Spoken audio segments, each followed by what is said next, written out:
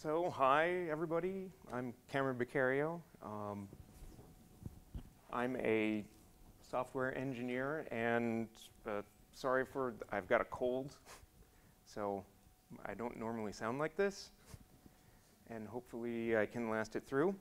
Um, so, what is Earth?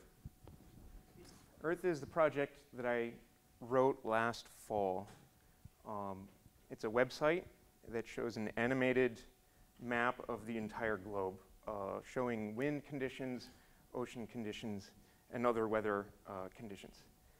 And over the next 17 hours, we're going to discuss in detail uh, everything about this project. So relax. Um, today, talk about motivations, construction, reactions, and lessons. Um, so, but before we get into that, just a quick intro about me. I'm originally from Cedar Rapids, Iowa, which is this small state right here. Lots of corn, lots of pigs. Um, it looks close to Chicago. It's not. That's like a five-hour drive. I got my uh, bachelor's degree in computer engineering from Iowa State University. And after uh, graduating college, I went to Microsoft in Seattle, where I worked on the Visual Basic compiler team helping to ship the first couple versions of .NET when that was a new thing. Uh, after doing that for about five years, I decided that I wanted to do something completely different. So I moved to Japan, quit my job, moved to Japan, and studied Japanese full-time for a year. And after getting settled in, I joined a um, financial services company called TradingScreen, where we built a stock trading platform did that for a number of years, quit my job, and joined recently in April a company called Indeed, which is a job search engine. If you're looking for a job, go to Indeed.com. So, motivations. In the summer of 2013, I had no job, and I collected stamps. Stamps, okay? Um, I want you to my girlfriend threatened to kick me out of the apartment or send letters to a lot of random people using up my precious stamps. um, so, and she was right. I needed a new project. I needed something to do other than sit around in my pajamas all day looking at stamps. Um, incidentally, if you want to talk about stamps after the talk, please. They're really, really amazing. Anyway, so I needed a new project. I needed new skills. Uh, being unemployed meant having to find a new job eventually, and that meant uh, having to put together a CV, everything. And I had been primarily a developer tools guy, a server-side you know, developer. I had no HTML5 experience, no JavaScript experience. Node was a thing. I had no idea what that was. And I'd always been interested in data visualization, but I'd never done any. And so I thought these would be really good skills to, to develop and put on a CV. So uh, the question was what to build. What, what would be a good idea to build to, develop these skills? So I took a number of uh, inspirations that I had seen um, in the previous years. This uh, hint.fm wind map was released in 2013, or 2012, sorry by Fernanda Viegas and Martin Wattenberg, who are now at Google. And it's a, I hope you can see it a bit. Um, you might also have already seen it. It's already been presented at the conference yesterday. It's an animated wind map of live wind conditions over the United States, updated every hour. And when I saw that, I thought, how are they doing that in the browser? That's amazing. I mean, this is 2012, right? Um, it really stuck in my mind as something that looked fascinating. I'd also remembered being on a business trip to London in 2009 and seeing uh, the BBC weather. And they have a, a, a, the same kind of technique of using animated wind streams to show, um, to show the weather, right? And I remember that, that moment I saw that, it really stuck in my mind. Like, how are they doing? What is that? And actually, this technique's been used by the BBC for quite a while. Um, this is from 2000. It, it's a little less sophisticated, but it's the same idea, right? Uh, I thought that was really cool to focus on and say, that's a nice visualization to, to work on. Also, weather is really awesome. In fact, it's so awesome, I'm going to get rid of that title. This is Typhoon Neoguri, which um, hit Japan in July of this year. That's when it's explosively intensifying to a cat category, uh, equivalent category 5 hurricane. And when you think about weather, I mean, it's universal to human existence. I mean, we all operate in the fabric of weather, right? it's the universal icebreaker. You can talk to anybody worldwide about the weather. And we'll probably be talking about the weather tonight on the boat because there's a lot of weather here in the UK. I've, dis I've discovered in the last week. I thought it was supposed to be summer. Unfortunately, the weather media tends to be just numbers in boxes, right? Like you can distill the entire Earth's atmosphere down to one box, one number. Oh, it's going to be 30, 30 degrees, right? I think you lose a lot with that. Or just these static windows, right? Someone somewhere decided that this is the boundary of map uh, weather data that you're going to see. Well, okay, so what, what, what, are these things? I mean, what's, what's around here? Like, why, don't, why aren't you showing me that? What do I, where do I go to see that? There are a few places you can go to see that now. But primarily, it's very driven right? The, the weather narrative that is given to you is driven uh, along a certain route.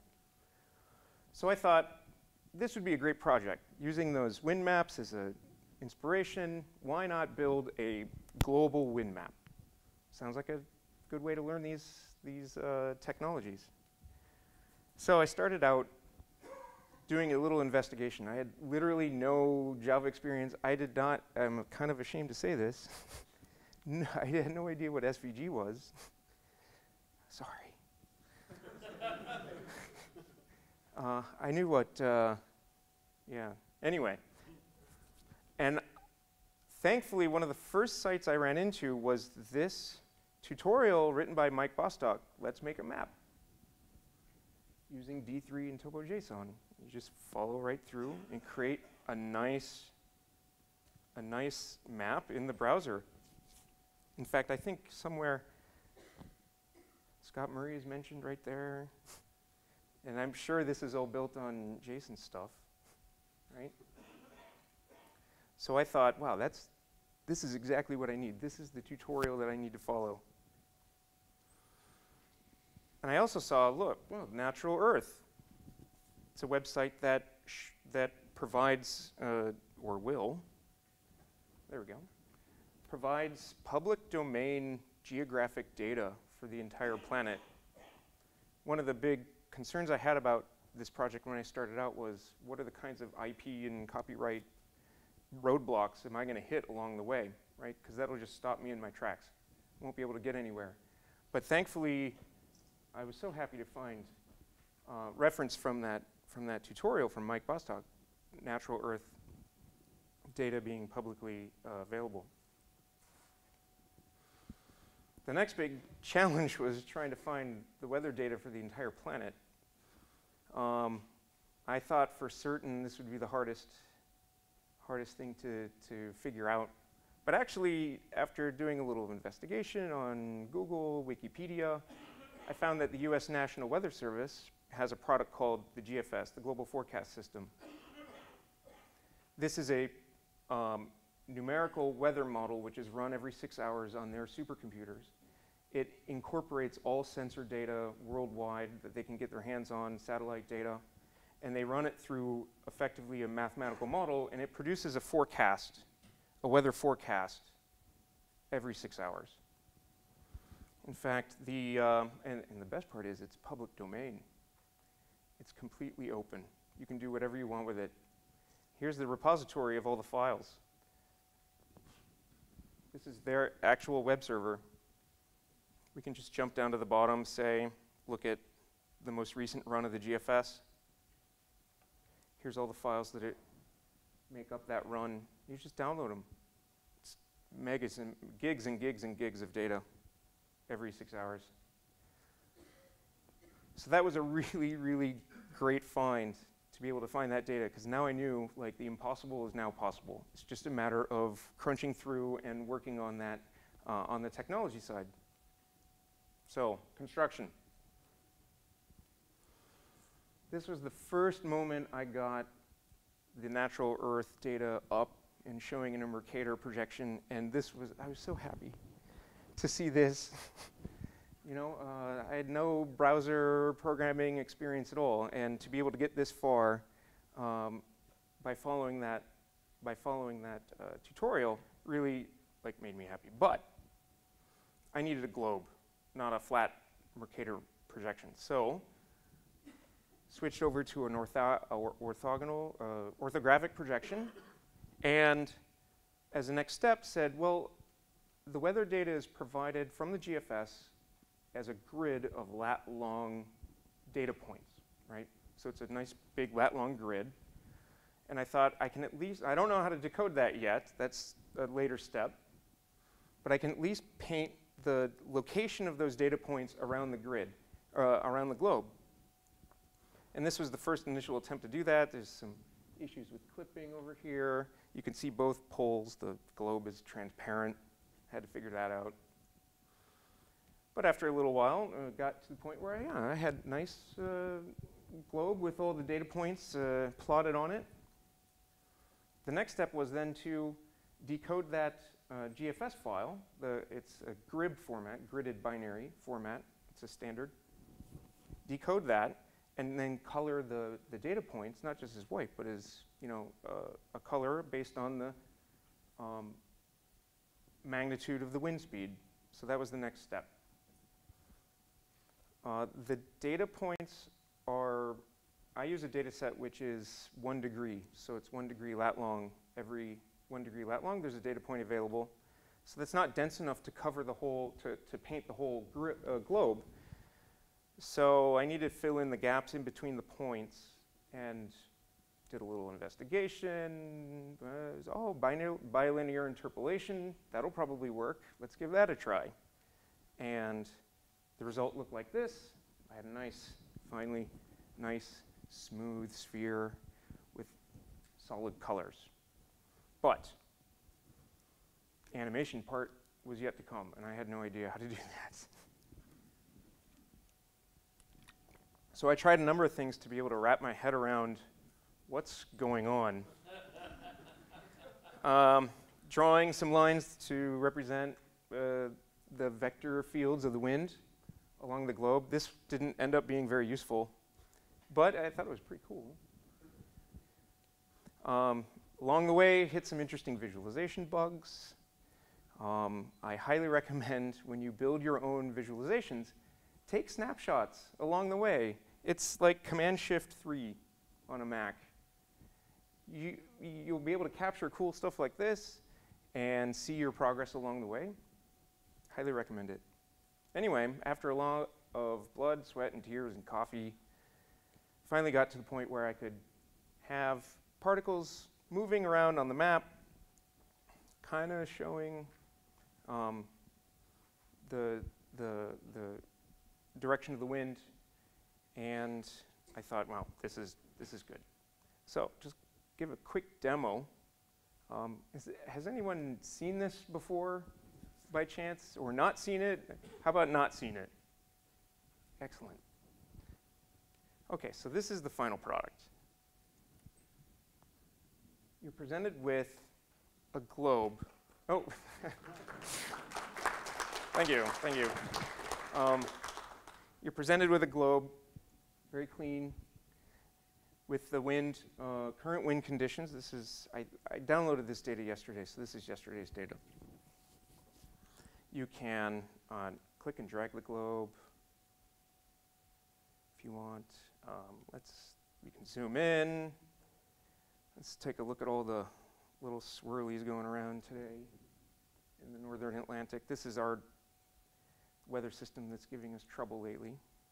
This is a hurricane. Hurricane Cristobal? I don't know how to pronounce the name. Um, you can click anywhere on the map, and a local pop-up shows up that shows uh, the speed of the wind at that point. And if you don't like metric, well, you can switch through various units, knots, miles per hour.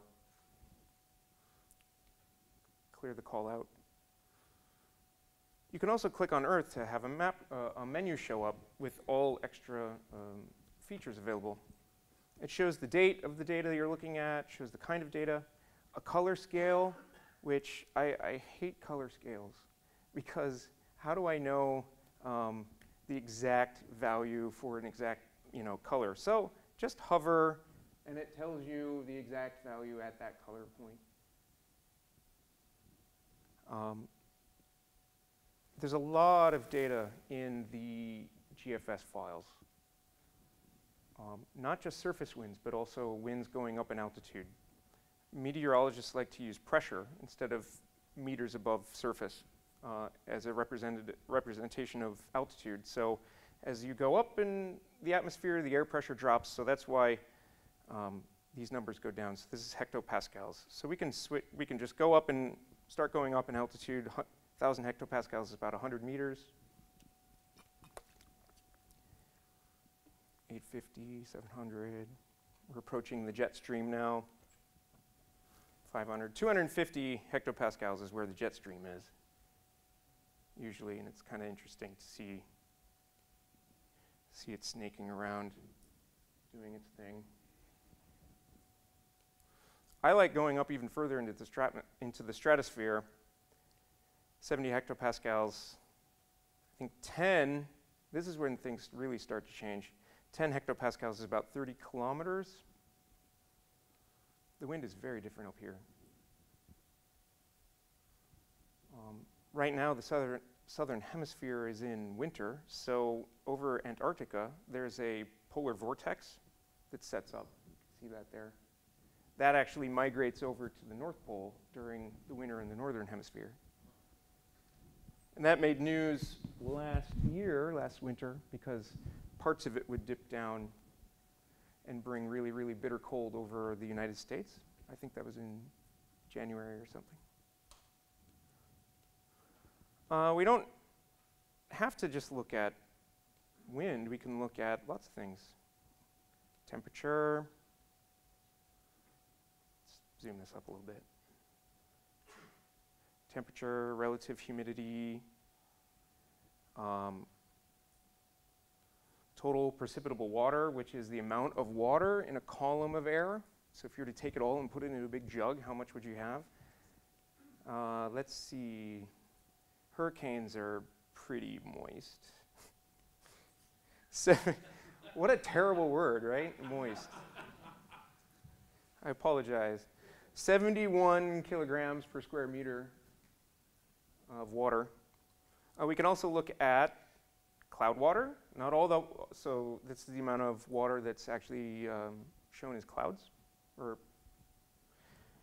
we can also look at mean sea level pressure, which is the standard high-low uh, maps you would see.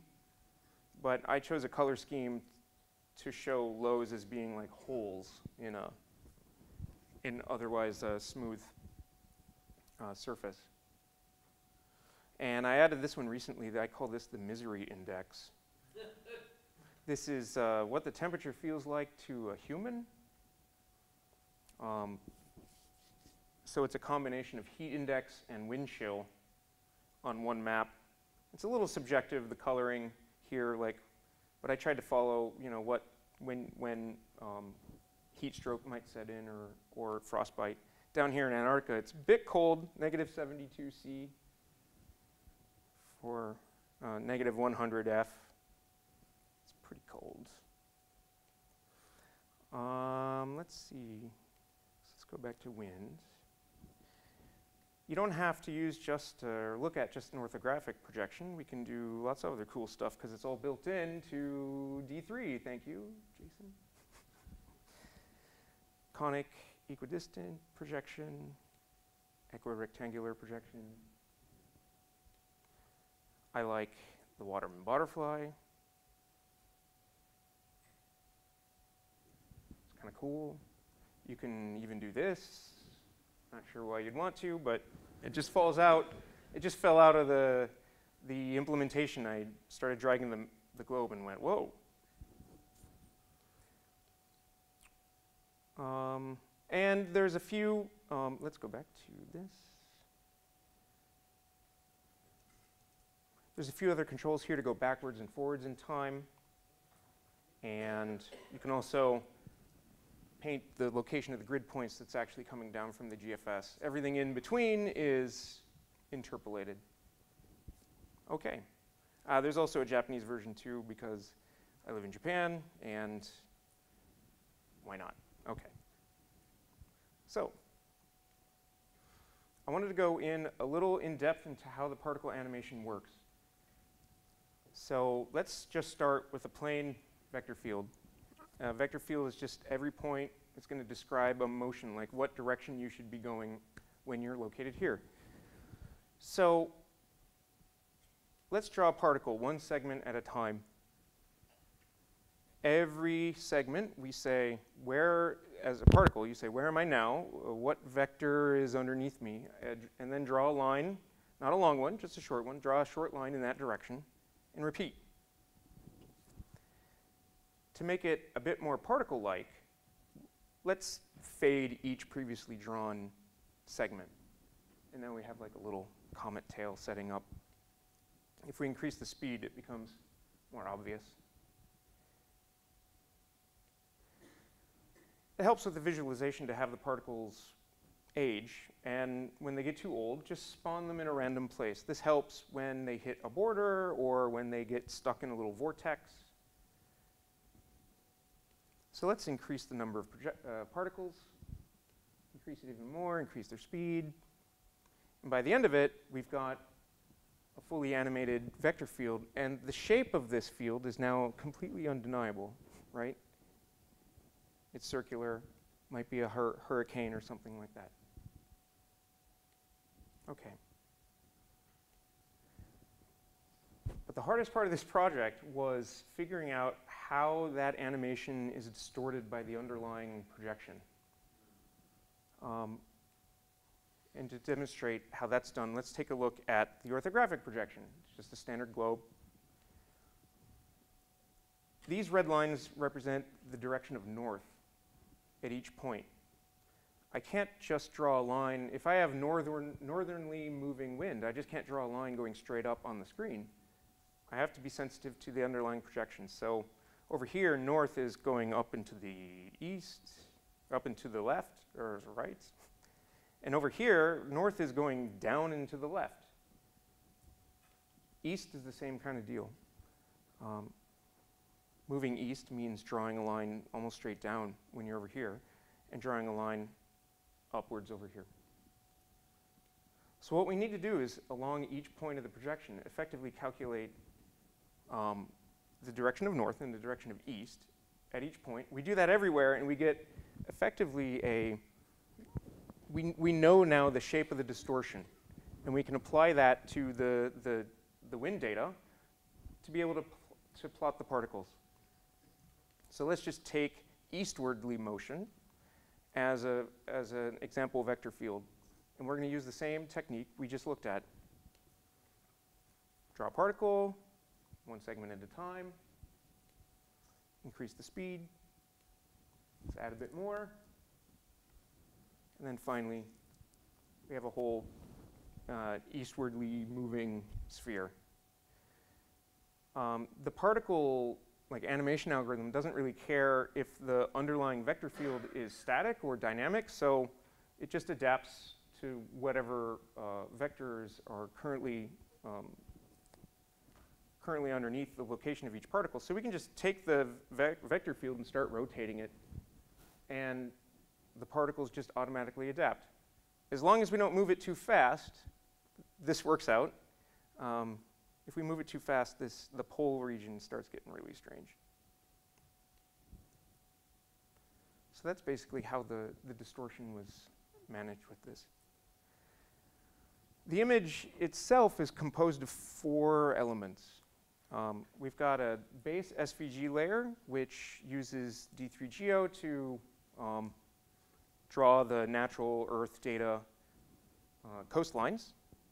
Then on top of that, layered on top of that is an HTML5 canvas where all the particle animations are drawn. Layered on top of that is, the, is another canvas for the colored overlay. In this case, wind speed, but if it's temperature, it's temperature or whatever. And then finally, a, another SVG uh, layer on, sitting on top, which is just a bounding circle. It's about two, three pixels wide. All its purpose is just to clean up the edges uh, so they look nice, because otherwise you get some jaggies and it doesn't look very good. So, And they're just layered right on top of each other.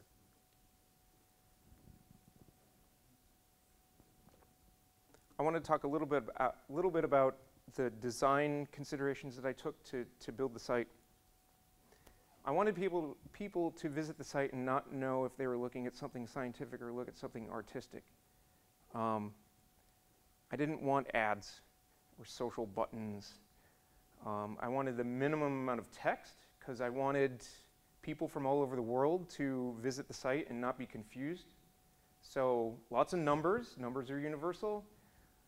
As little text as possible, if I can get away with it.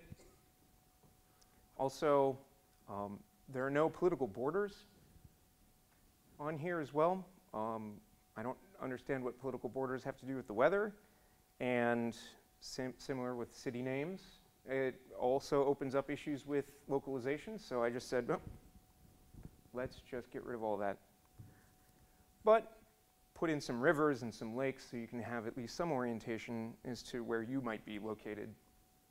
Also, um, I wanted the globe to face, uh, be relevant, its orientation, default orientation to be relevant to visitors when they, when they visit.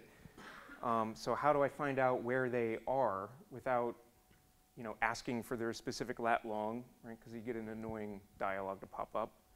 And I didn't want to call out to like an IP geocoding service.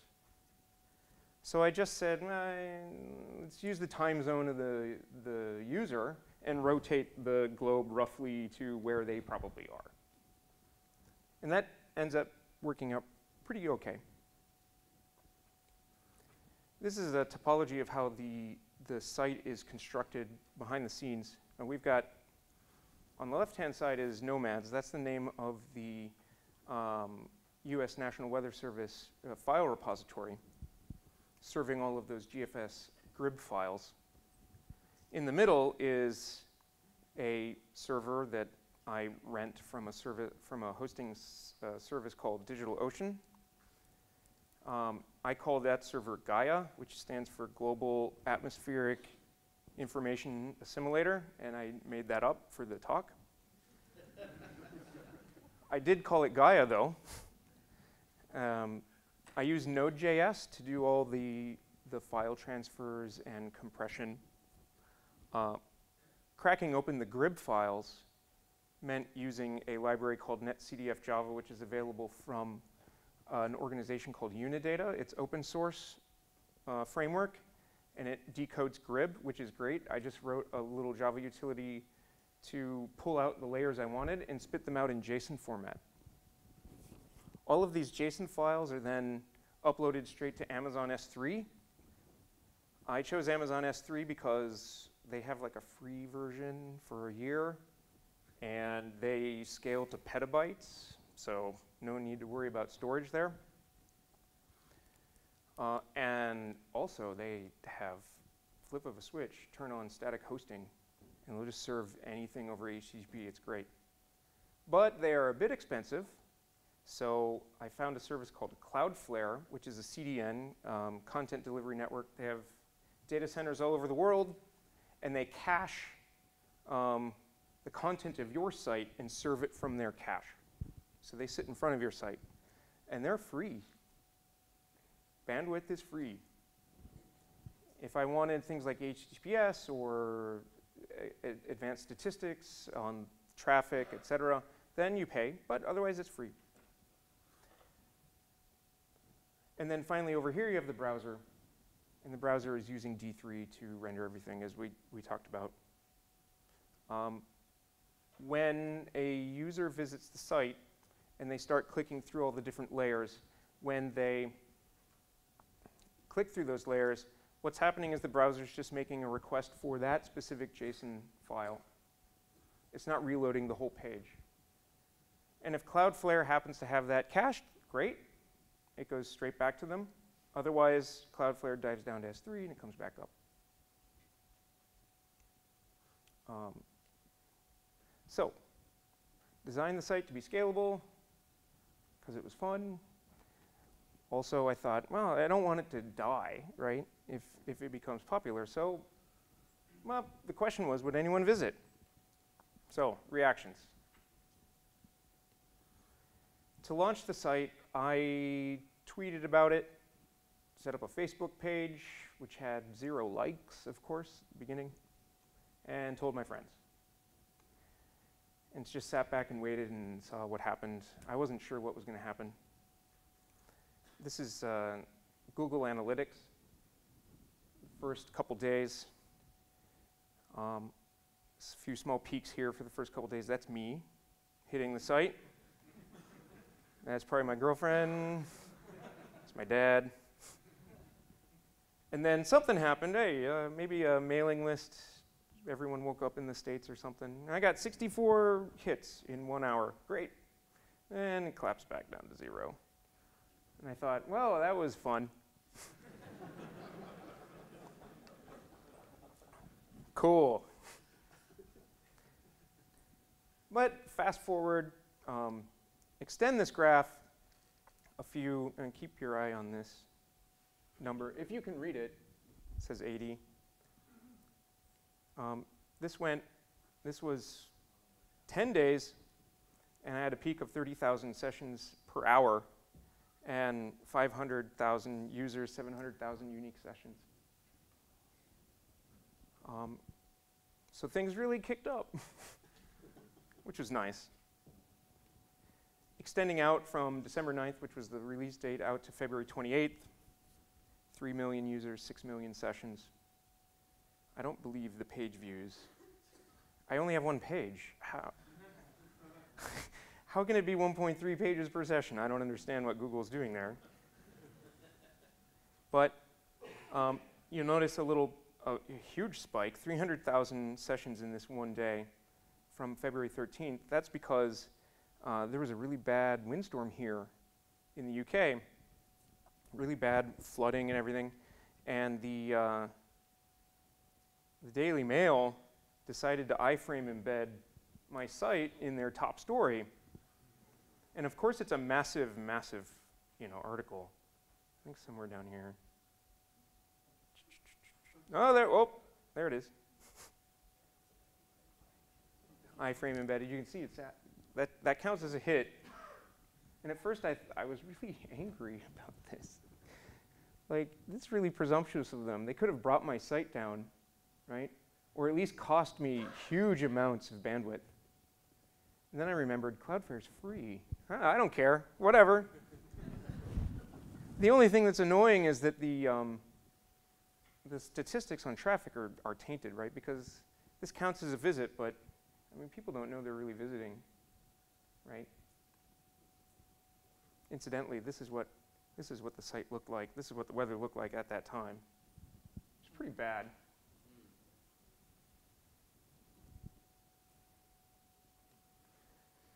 Uh, this is traffic from December 9th up until a couple weeks ago. 14.5 million sessions, 6.6 million unique users. And you see spikes along the way. Those are generally hurricanes. Um, some kind of massive weather event occurring somewhere on the planet. May and June, really boring. Nothing happened. I thought, well, that's it for the site. Nothing's going to happen after this. And then summer kicked in and the whole typhoon season. I really liked seeing the responses on Twitter.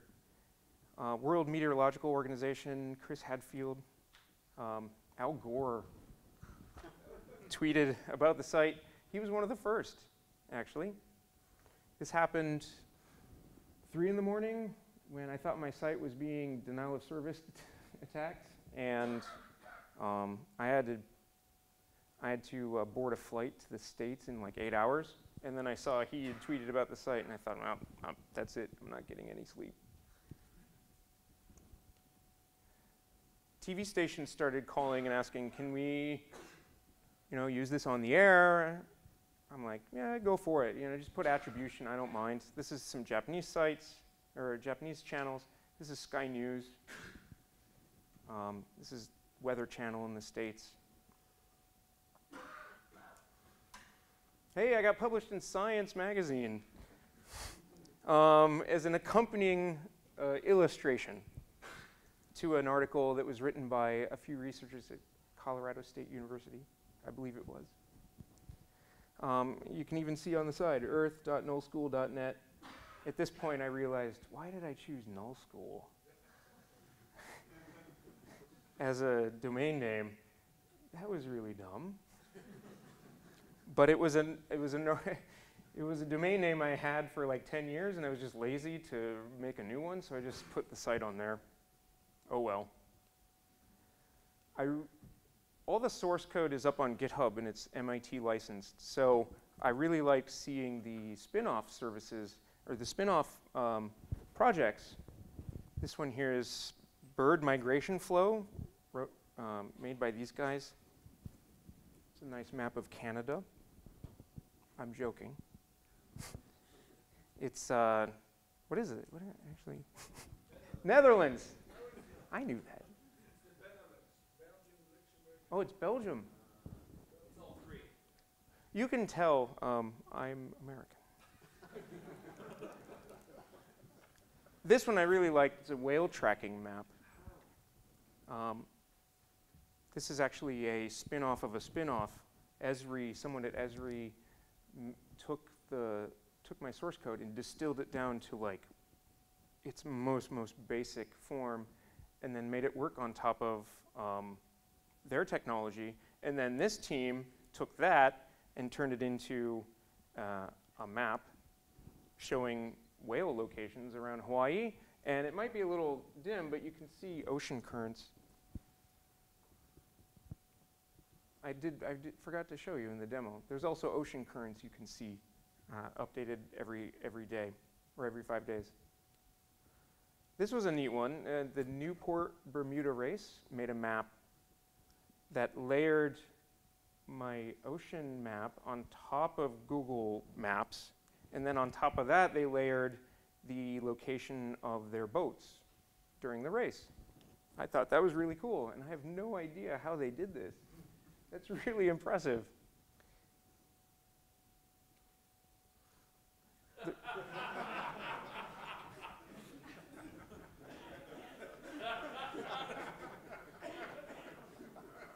there are some really, really great art and, and cool images made by people out in the community. Uh, a lot of people uh, compare the site often to Starry Night, so someone, of course, made that. An artist in Montreal, uh, Bettina Matzkuhn, made a one meter wide embroidered, hand embroidered piece uh, that was inspired by the shape of the wind map. In fact, this is using the Waterman butterfly projection.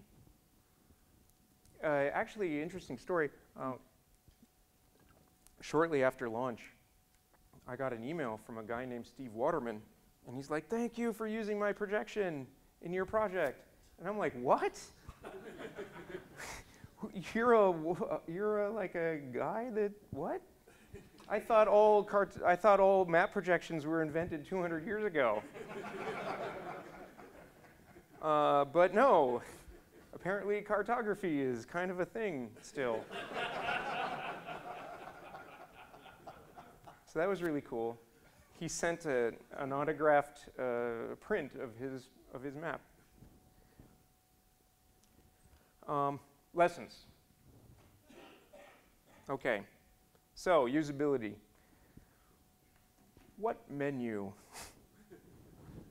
Many people who visit the site have no idea there's a menu.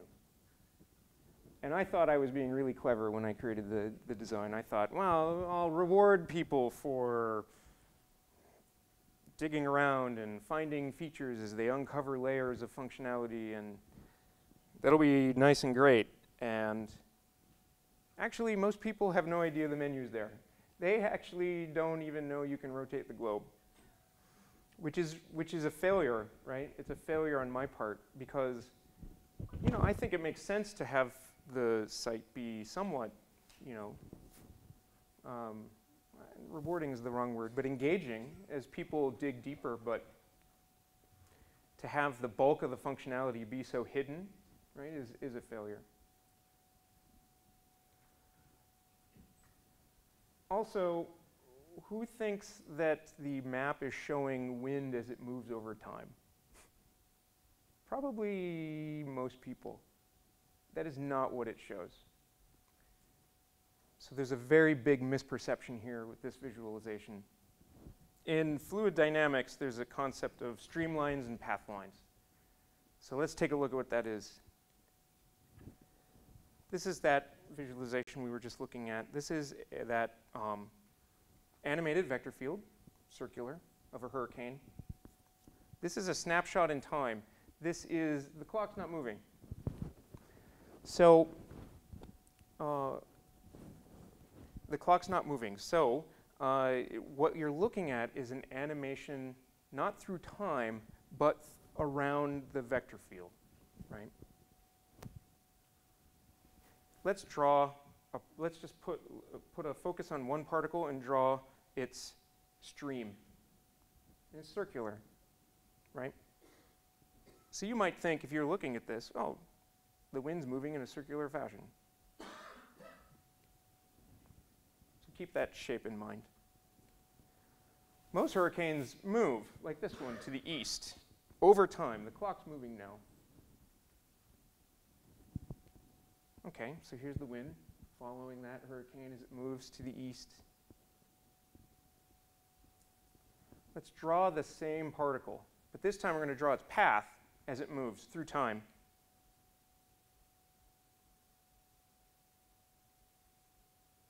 totally different.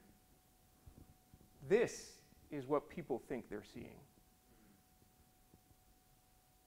This is what they're trained to see. This is what, as humans, we perceive animation as being through time. And I'm showing them a wind map that is not that. And that is really concerning, right? I don't really know how to, um, how to communicate this, right? in a nice and easy way. I sometimes get emails from sailors that say, I used your map to save two days off my travel. And I think, that's awesome. And then I go, no, that's really scary. wow, uh, I have a disclaimer but on, on the site, but uh, here's the thing people will implicitly trust you if you put something up. At least they trusted this. I don't know why. Maybe because it looked cool or whatever. They thought it was real. Um, and to a certain extent, I, mean, it is real. You know, path lines versus streamlines, that's a that's an actual thing in fluid dynamics. meteorologists use that information, right? They use that distinction. But it was a little scary to see how, um, how eager people visiting the site would grant you authority in correctness. And I'm, I mean, I've had bugs, right? I've had issues where the visualization is not showing correct weather conditions. So what responsibility do I have to make sure that that's correct, right? I try my best,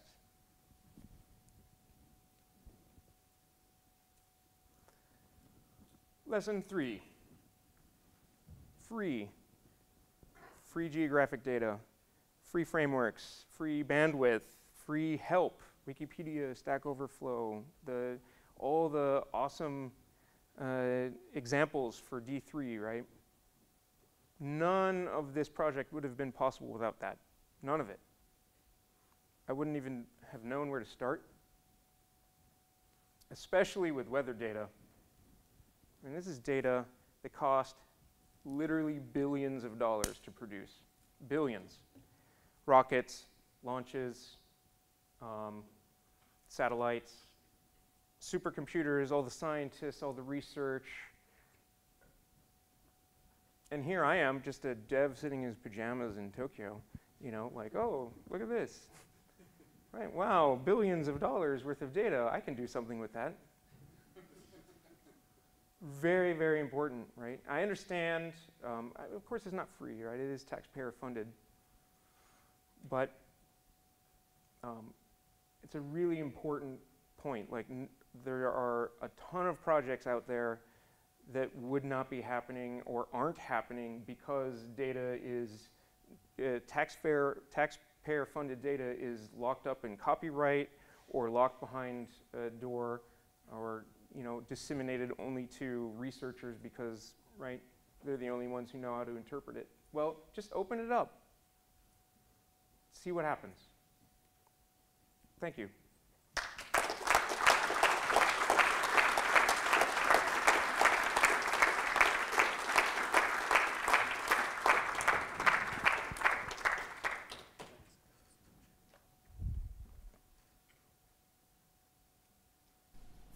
How was that on time? Where did you learn your uh, maths? Jason Davies. um, I'm guessing there might be a question or two. Who's going to go first? So, how do you think qualitatively it would change if you did have access to time dependent wind data? Would it, I mean, at the moment, every six hours, yep. you bring in the new field and, and you're displaying that, yep. that static snapshot. What would it take for you to have that, or for somebody to have right. a, a dynamically updating version of this? More technical know how than I have at the moment. I want to be able to do that. I want to be able to say, uh, just play, uh, you know, play the an evolution over time of the weather systems. You know, because there are the forecast is there, right? Yeah. The forecast data is there, but it's on a scale that I don't know how to handle. As you saw during the demo, as I'm changing the orientation of the globe, there's a pause, right? Where it's reinterpolating everything based on the uh, orientation of the globe and the distortion caused by that. And I don't know how to make that faster. Okay. And, and I so want to. I want to know how to make that faster. Okay, we should talk about that. Um, just the other thing then is is when it changes focus. When you when you zoom in on an area, yep. and you're only rendering that. I mean, you're, are you picking that up for free from the from from the graphics library or, or something? It knows how to do that already. Uh, pretty much. Yeah. Yep. Exactly. Okay. Thank you very much indeed. Very good.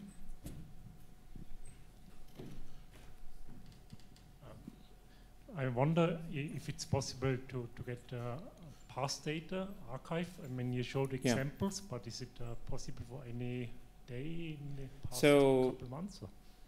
Uh, I have data on the site back to November of 2013. And I saw somewhere in my travels around the GFS websites uh, an archive of data going back a decade. I haven't encountered that since. I want to find that. And I also know that the uh, ECMWF also has like a reanalysis uh, uh, weather data that goes back to 1983, but those are more like daily averages.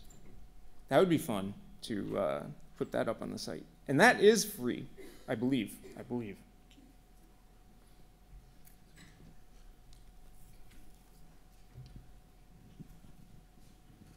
Hi. So first of all, thank you because I'm, I'm by training a scientist and I have spent most of my life actually programming the models that do all the weather forecasts and climate forecasts and so on. Nice. So it's, pretty, it's pretty cool to see that you're using the, the data. But one, one suggestion in terms of this issue between the, the forecast and, and the data, because you are displaying a snapshot, and traditionally what we do with this is simply to call it an analysis to disencourage people from thinking that that's a forecast, just to say, okay, this is a single point in time. You have look a at it this is very cool, but this is just an analysis, it's just a picture of what it is now. Yeah, yeah, you know, um, I'm torn, right? Like, how much text do I want to put on the page at the beginning to say, oh, big dis- disclaimer, uh, right? kind of defeats the aesthetic, you know, uh, uh, part of this. But I know exactly what you mean. Like, I need to do something, right? No, m- but very happy to work with you. I mean, we have lots of data, and yeah, as you say, we have analysis, reanalysis, and so on. and Yeah. Happy to show what we do in house for our forecasters. Yeah, yeah. Apparently, apparently, there's a lot of in-house data which is much, much finer detail than what's released. That'd be cool. Um, I I have two short questions. So the first one is, I'm amazed that you taught yourself everything to build this. Like it's astounding. And so related to that, how long did it take you to make it, going Yeah. from nothing to amazing viral internet Yeah. success? And then the second question is, do you have any plans to try to fix the UI problems, the usability, or are you just so sick of this after doing it? Never again.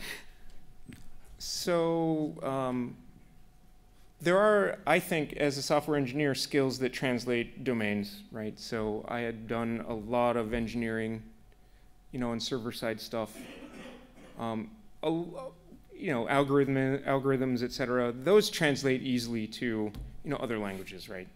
So it was just a matter of learning, you know, JavaScript. And, and I had also done compilers and, and languages before, so I was familiar with a lot of the details around computer languages. Um, I mean, it was still a struggle. It was a big struggle, right? CSS, it's kind of weird.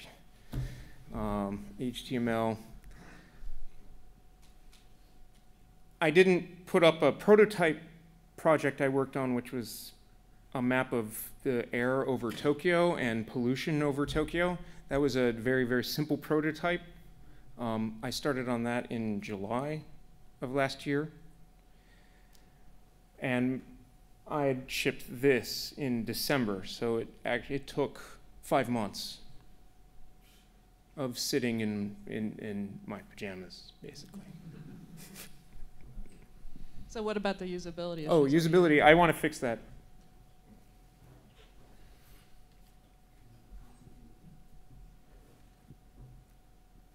Hey, um, just a quick question around the uh, canvas layer. Yeah. So when you zoom in, do you have like uh, any problems on like rendering, like quality of the of your rendering? Like, did you have to go around that, or is that Well, zooming in is basically just clearing the canvas and starting over.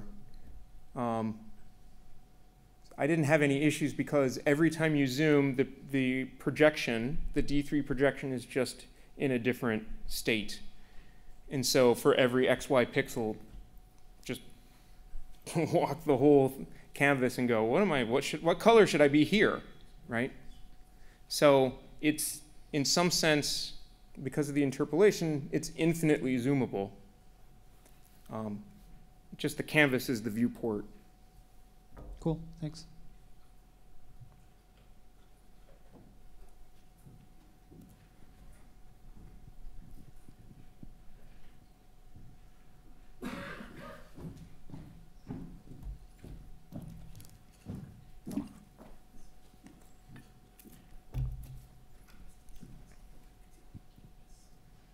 Um, are you aware of the, uh, of the literature in flow visualization that's Nope. out there? There is there there is a literature. Mm. It's been around for a while. It's a part of scientific visualization, and um, there is, and this is where many of these techniques come from. This is also where the original wind map comes from because it's a technique that's called, I think this is one that's called LIC, LIC, line integral convolution. Yeah, I've heard that. And the there is a lot of work on. First of all, there is a big discussion. That's actually interesting that you raised that on animation for static fields or not. I'm not sure if it's actually in papers or just people yelling at each other at these conferences, but it's something that people have discussed for a while, of course. But there is work on things like um, like particle seeding and, and things like that to to get a good coverage without them all overlapping and yeah.